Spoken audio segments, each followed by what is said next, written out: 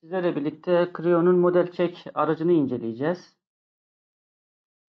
E, Model Check, e, PTC'nin parça modelleri, montaj ve teknik resim modellerini oluşturan, e, oluşturduğumuz uygun standartlara göre kontrollerinin sağlanması için geliştirici bir araçtır. Yani e, oluşturduğumuz modellerin firmamıza göre, oluşturduğumuz standartlara göre kontrolünü sağlayabiliriz. Model Check ile birlikte. Model check, part, montaj ve teknik resimlerin kontrollerini model check ile birlikte sağlayabiliriz. Ayrıca e, model check gatekeeper ile birlikte winch ile entegre bir şekilde çalışabiliriz. Yani e, kontrolünü gerçekleştirdiğimiz modellerin eğer kontrolleri sağlamsa, tamamsa eğer winch ile aktarabiliriz. Sağlam değilse winch ile aktarma diye gatekeeper aracıyla birlikte kontrolünü sağlayabiliriz. Model Check, Interactive, Regenerate, Rule Check ve Geometry Check adı altında dört farklı şekilde çalışabilir. Genelde interaktif ve regenerate modları kullanılıyor. Tabii gerekirse Rule Check ve Geometry Check ile de e, modellerimizin kontrolünü sağlayabiliriz. E, Model Check'in e, operasyon modları mevcut. E, bu modlarla birlikte e, kontrol etmek istediğimiz komutları e, çalıştırabiliriz. Örneğin e, yes, e, no, e, error ve warning adlı dört komutumuz mevcut. Bu modlarımız mevcut. Örneğin model çeki çalıştırmak istersek şuradaki görselde de görüldüğü gibi yes ya da işlemi durdurmak istiyorsak no diye belirtebiliriz. Ya da model çek işlemi sırasında bize uyarıyı error olarak görmesini istiyorsak e ile ya da warning yani uyarı olarak görmesini istiyorsak e, warning ile belirtebiliriz. Bunun dışında model checking configuration tool'ları mevcut. Yani bu e, check, start, constant dosyaları mevcut. Check file içerisinde kontrol edilecek dosyanın e, ne zaman yapılacağını ve hangi operasyon modda bildireceğini belirtir. Yani e, bizim e, kontrol parametremiz mevcutsa eğer o parametreyi check file içerisinde yes, no, error ya da warning olarak aktif hale getiriyoruz. Daha sonra start file içerisinde ise model check işlemini başlatmak için kontrol bilgilerini yapılandırırız. Burada part, montaj, drawing ya da external list dediğimiz dosyaları yapılandırırız. Yani burada örneğin bir tasarımcı listemiz mevcutsa eğer bu listeyi start file içerisinde yapılandırırız. Ya da bir delik standart listemiz mevcutsa eğer bu standart listeyi yine aynı şekilde start file içerisinde yapılandırırız. Ya da parametrik e, yani parametrelerimiz mevcutsa eğer bazı standart parametreleri oluşturmuşsak eğer bu parametreleri de aynı şekilde start file içerisinde oluşturup yapılandırabiliriz. Constant file ise hani örnek olarak kısa kenar uzunluğu ya da minimum radius değerleri gibi sabit değerleri belirtmek için kullanılır. Örneğin benim minimum radius değerim 1 milim olsun diyorsam eğer bunu constant file içerisinde belirtiyorum ve model içerisinde 1 milimin altında bir radius değeri varsa eğer bunu bize uyarı olarak bildirir. E, status file ise modelin durumu durumu için bir kriter belirler. Yani örneğin bizim oluşturduğumuz e, kontrol listeleri e, listelerinde örneğin belli bir eşik aralığı belirtiyoruz. Örneğin 3 error ile 5 warning arası bir kontrol parametre limitimiz var. Bunların e, aralığında ise modelimiz yeşil renkte. Tamam bizim istediğimiz standartlara uygun, kontrollere uygun bir model oluşmuş. Ya da bunların dışında ise sarı renk uyarısı vererek modelin e, durumunu kontrol eder. Model hakkında bize bilgi verir.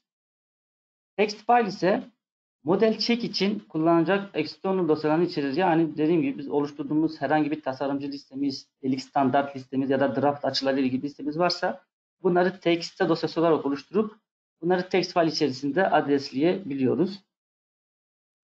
Zaten şuradaki e, görselde de görüldüğü gibi text file içerisinde de bütün dosyalarımız mevcut. Şimdi bunları bir uygulama ile e, gösterip daha iyi kavrayabiliriz. Örneğin şöyle bir modelimiz mevcut. Bu model üzerinde belli belli başlı kontrollerimizi denetleyeceğiz. İlk olarak model check ayarlarına nasıl geçiyoruz onu göstermek istiyorum. Buradan File, Options, Environment'tan buradan Model Check Settings'e tıkladığım zaman Model Check ayarlarına erişebiliriz. Burada ilk olarak Edit Config Unit MC kısmında burada ben model çekimi aktif hale getirmek istiyorsam yes ya da no olarak belirtebilirim. Buradan aktif hale getirebilirim. Ya da raporlama işlemiyle ilgili bir işlem yapacaksam bunu aktif hale getirebilirim. Ya da duplicate modellerim varsa buradan aktif hale getirebilirim. Bunun dışında burada edit condition mcc dosyamız mevcut. Burada check file start constant status gibi yapılandırma araçlarımın adreslerini belirtiyorum. Örneğin ben check file'da şöyle göstereyim ben daha iyi olur. Örneğin check file'da ben default check'i kullanmak istiyorsam eğer buradan default check'i belirliyorum. Ya da simple'ı kullanmak istiyorsam simple'ı adresliyorum. Aynı şekilde start ve constant diğer yapılandırma dosyaları için de geçerli.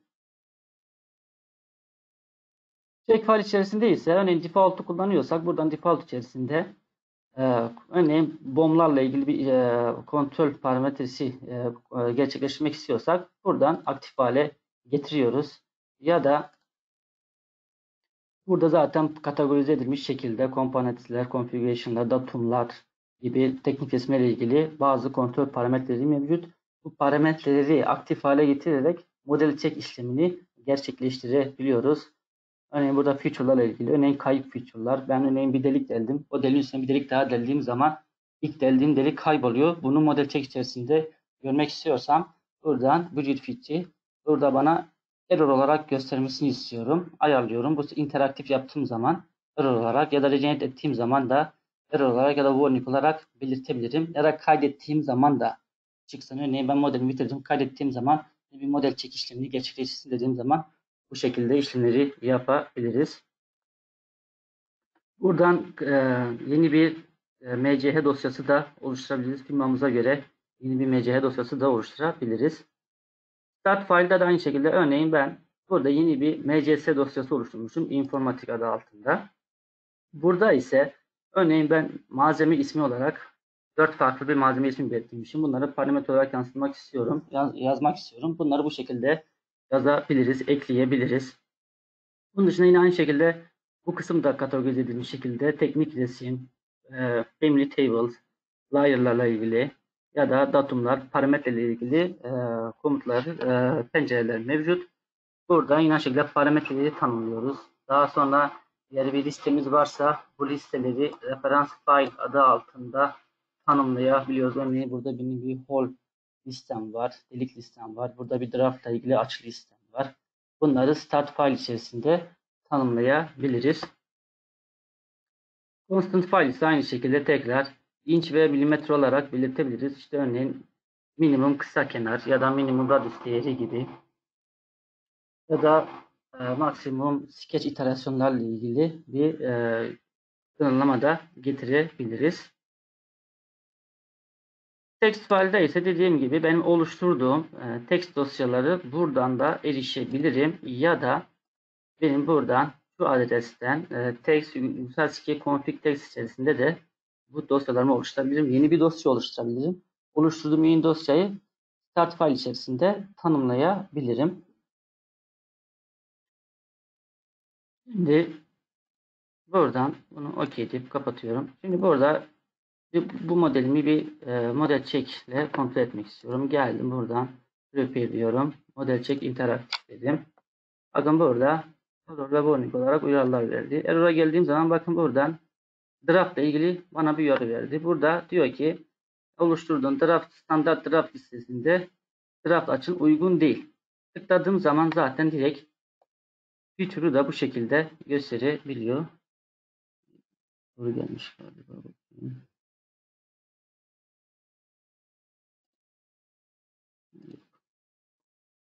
Bu şekilde zaten Future'a tıkladığımız zaman e, modelin neresinde uyarı veriyorsa direkt bize zaten oraya görsel olarak gösteriyor. Şimdi bunu iki şekilde yapabiliriz. Örneğin bunu diyelim tasarımcı bilerek yaptı. Evet bu liste var ama bu listenin dışına çıkmak zorunda kaldı. Kompleks bir durum oldu. Özel bir durum. Bunu bu şekilde ignore edebiliriz. Geldim tıkladım. Şuradan ignore in future dediğim zaman buradan bize tanım istiyor. Neden bunu ignore ediyorsunuz? Neden listenin dışına çıkıyorsunuz diye. Buradan özel durum olarak yazıyorum. Buradan OK diyorum. Daha sonra tekrar tekrar gidip bunu kapatıp açmamıza gerek yok. Buradan regenerate ettiğim zaman bakın buradan direkt hata sayısı 1'e düştü. Peki o yaptığımız ignore feature nereye gitti? Onu da information kısmından bakın burada ignore feature adlı bir komutumuz var, aracımız var. Buradan bakın draft angels diyor. Hangi feature, e, kullanıcı, yorumu bu şekilde bunlara erişebiliriz. Burada bir diğer uyarımız ise delik standartla ilgili oluşturduğumuz bu delik tıkladığım zaman bakın tıklıyorum direkt beni hangi deliğin model check tarafından hata verdiğini gösteriyor.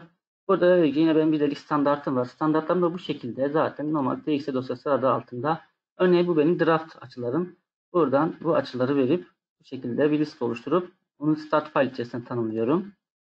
Buradaki ise benim pol delik standartım. İnç ve milimetre olarak da oluşturabilirsiniz aynı tekste içerisinde. Ayrı ayrı oluşturmanıza gerek yok. Zaten program biriminiz milimetre ise otomatik olarak milimetreden tanımlıyor. Buradan örneğin benim burada milimetre olarak belli bir delik çapı standart listem mevcut. Bunların dışında bir delik delik çapım olduğu için direkt bana burada uyarı veriyor. Bunu gelip bu şekilde Pol'den gelip ben bunu düzeltiyorum. Örneğin benim buradaki delik standartıma bakayım. Kaçmış? Nokta 2, 2,5 milim. Bunlardan bir değer vereyim. Nokta 15'miş. Ben bunu 0.2 olarak düzeltiyorum. Tamam diyorum uyarı verdim. Bunu düzelteyim diyorum. Geldim. Buradan tekrar regenerate et diyorum. Tekrar model çeki çalıştır. Bakın burada hata sayım sıfıra düştü. Modeli düzenlemiş olduk. Bu şekilde e, model çekler kolay bir şekilde modelimizi kontrol edebiliriz. Ya da dilim geldim. Ben şuraya bir delik açacağım. Bunu aşağı indireyim. Kapatayım ben. Geldim şuraya şöyle bir extrude'la deliyorum diyelim.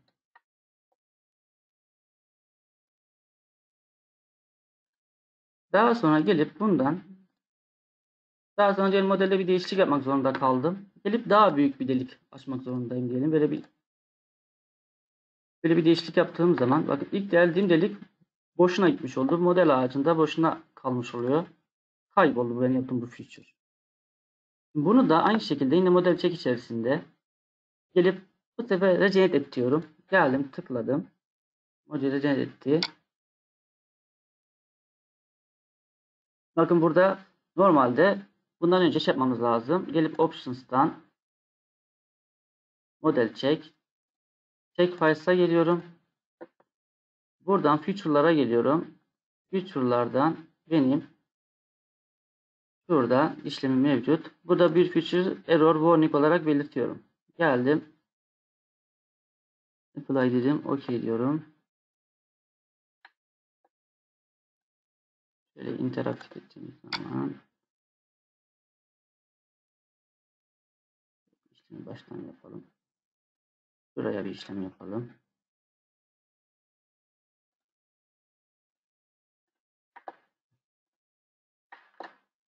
Okey dedim. Bakın bu geldim buranın üstünü kapattım. Şu modelimi kaybettim. ilk modelimi. Buradan generate diyorum. Bakın burada bir uyarı verdi. Buradan diyor ki senin burada modellerinde kayıplık var. Geldim buradan hangi neresinde mesela şuradaki model ve şu alt tarafla şuradaki radiusle kayıp diyor. Bunlar kayıp. Bunları ne yapabilirim? Ignore edebilirim. Bu şekilde. Ignore edebilirim ya da gelip interaktif dediğim zaman model check interaktif dediğim zaman otomatik olarak update ediyor, güncelliyor bu iki işlemi model ağacından kaldırıyor. Son işlemi bırakıyor. Yani modeli otomatik olarak düzenliyor, revize ediyor. Bu şekilde de kayıp feature'ları düzenleyebiliriz. Ya da regenerate edip oradan ignore edip yine kalmasını sağlayabiliriz.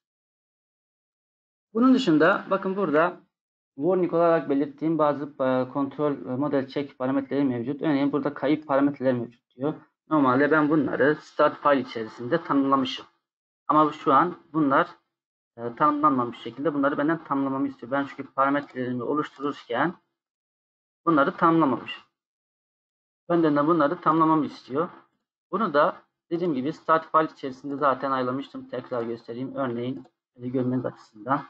Örneğin departmanla ilgili bir uyarı vermiş. Start file'a geliyorum. parametrelere gelip buradan şöyle parametrelere geldim.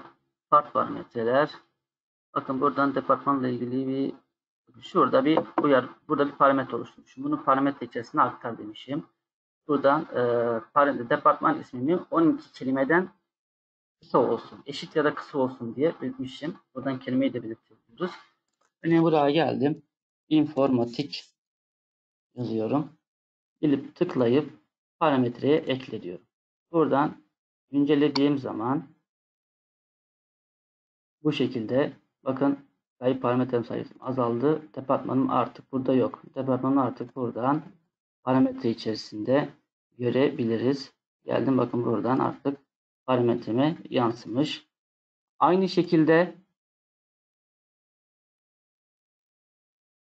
bakın buradan draft ile ilgili ben de, de, örneğin benim draft açım e, parametre olarak 7 derecenin altında olsun diyorum. Örneğin bunu değiştirebiliriz. Yine gelip buradan parametrelerden draft ile ilgili oluşturulan parametreye geliyorum. Geldim bakın burada 7 demişim burada. Ben bunu 3 olarak değiştirdiğim zaman tabi bunu değiştirmek istediğim zaman add item diyorum. Ekle diyorum. Apply deyip değiştirdim.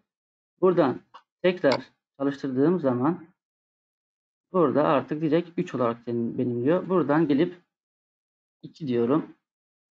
Draft diyorum. Seç diyorum onu. Parametreye ekle diyorum. Geldim seçtim. Ondan aynı şekilde parametreye ekleyebiliyorum. Burada bakın bir e, Drawn by diye bir tasarımcı listesi oluşturmuşum.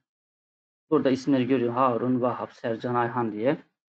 Bunu da aynı şekilde bakın ben burada text file içerisinde burada tasarımcı diye bunu ben oluşturdum. Normalde standart bir designer tasarımcı listesi var. Bunun da içeriğini de değiştirebilirsiniz. Buradan da değiştirebilirsiniz ya da kendiniz sıfırdan bir liste oluşturabilirsiniz. Ben bunu sıfırdan oluşturdum.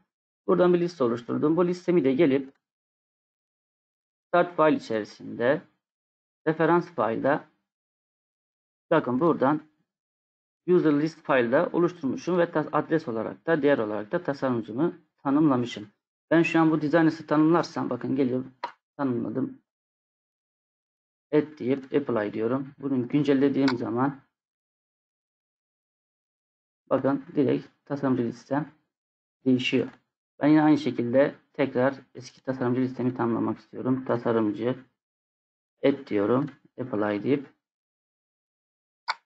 buradan parametremi tanımlıyorum. Buradan Harun olarak kalsın diyorum. Bunu da ekle diyorum.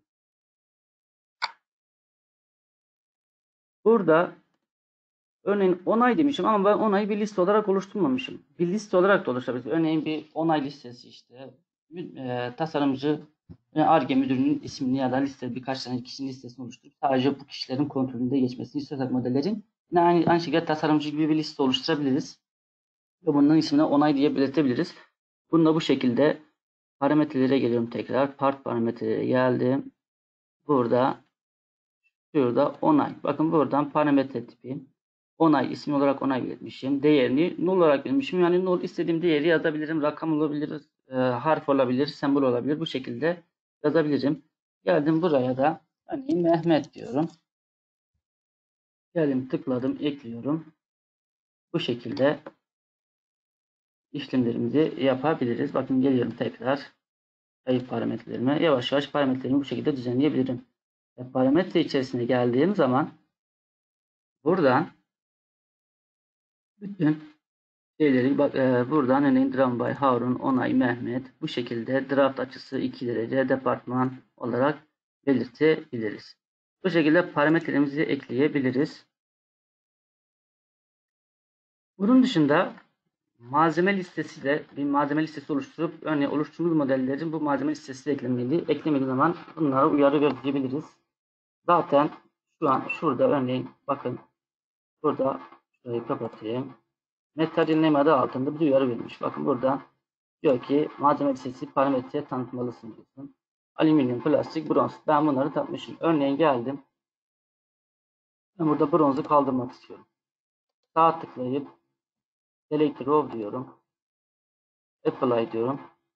Yani tekrar buradan çıkıp bilmenize gerek yok. Apply deyip tekrar model çeke devam edebilirsiniz. Yani basit bir kullanıma sahip.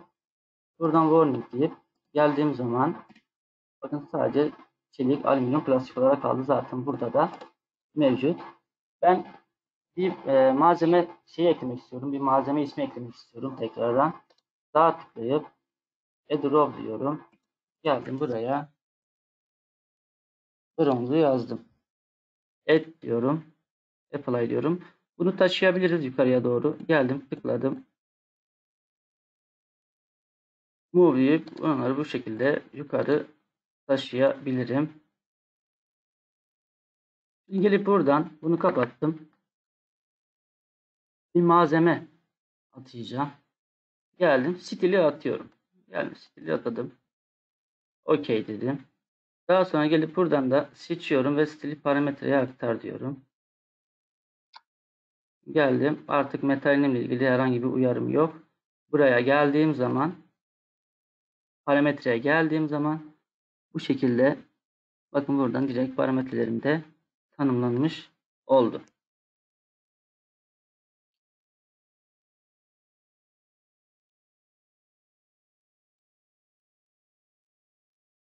Konuyla webinarımızda model check ile ilgili yaptığımız eklemelerle bu şekilde kısaca sizlere bilgilendirmek istedik. Ee, konuyla ilgili sorularınız var mı? Soruları alabilirim.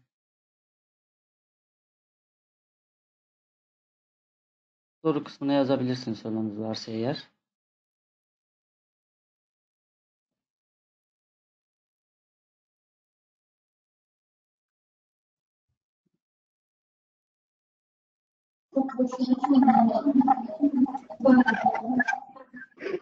Ee, sesiniz tam gelmiyor. Sorun not kısmına yazabilirsiniz. Şu an bütün sesleri açarsam sesler üstte binebilir. Ya da e, burada Murat Budak Murat Bey sorunuz var mıydı? Bir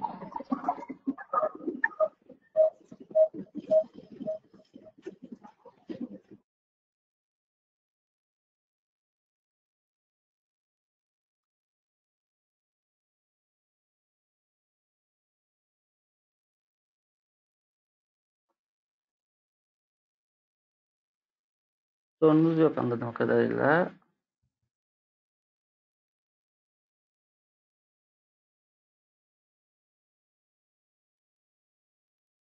Webinarımız bu kadardı. Ee, webinarda şimdi e, tekrar izlemek isteyenler için ya da webinarın başına kaçıranlar için e, YouTube kanalımıza e, atacağız. E, webinar kaydını ya da LinkedIn sayfamızda paylaşacağız. Oradan da tekrar webinarımızı izleyebilirsiniz.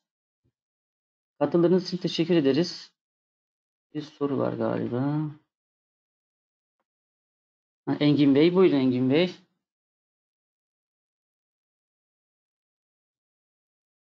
Bey, sesiniz, mikrofonunuz çalışmıyor herhalde. Yazarak soruyu söyleyebilirsiniz. Şu an sesinizi açamıyorum. Evet.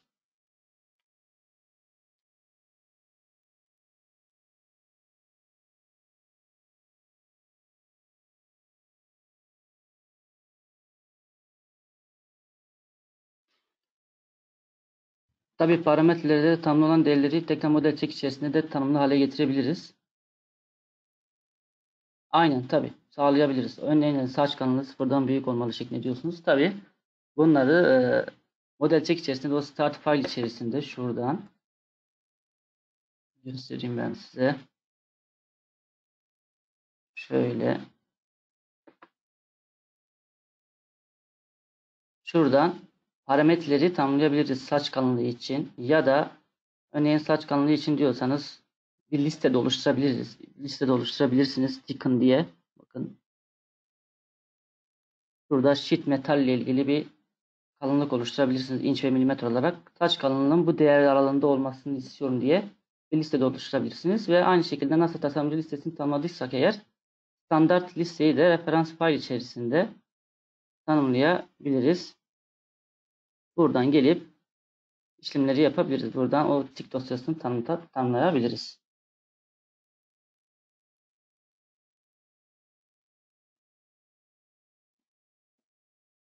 Rica ederim Engin Bey.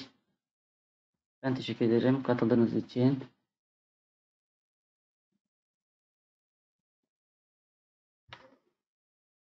Başka soru yok anladığım kadarıyla. Peki o zaman webinarımızı sonlandırıyoruz. Ee, tabii daha sonra eğer e, aklınıza takılan bir yer olursa e, firmamıza ulaşıp ya da mail yoluyla da tekrar iletişime geçebiliriz. Herkese çok teşekkür ederim katıldığınız için. İyi günler diliyorum.